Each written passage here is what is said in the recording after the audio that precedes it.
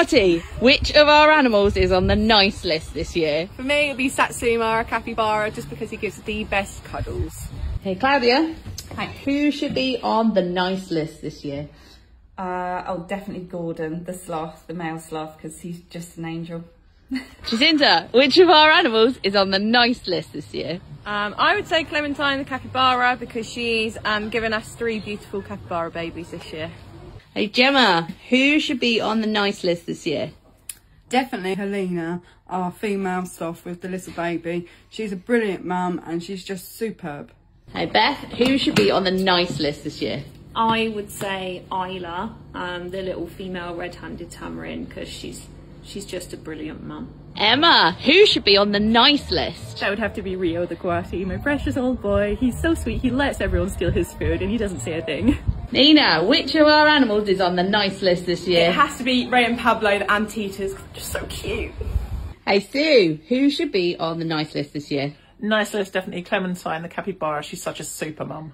Lottie, which of our animals is on the naughty list this year? So for me, it's Shadow, our black lemur, just for jumping on everyone and nicking everyone's food. But he's a good boy at heart. He's just a big kid. Jacinda, which of our animals is on the naughty list this year? Um, so I would say it's got to be our black macaque Glingtang, and that's because she likes to destroy the enrichment that we give to her.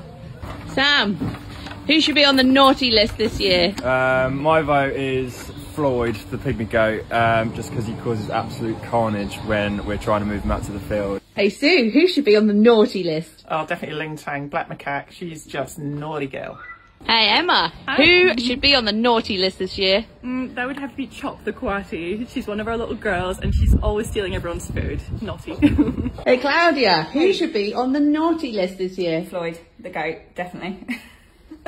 Beth, who should be on the naughty list this year? Lintang, one of our female macaques, um, she is so naughty. She's always got an attitude. She loves breaking stuff.